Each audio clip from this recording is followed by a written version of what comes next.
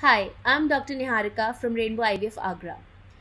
We did discuss that pregnant women are not at a greater risk of having coronavirus than any other normal healthy adult. So, should pregnant women take extra precautions?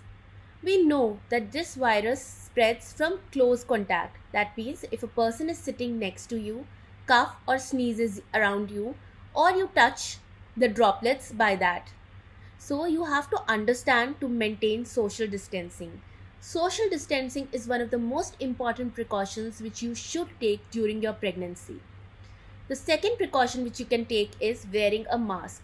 You need not wear any surgical mask, a cloth mask is sufficient, but make sure you and people around you are wearing a mask. Third thing is adequate hand hygiene. Wash your hands with soap and water frequently. Fourth thing is try and eat immunity boosting food and immunity boosting drugs which the doctor tells you. Stay safe.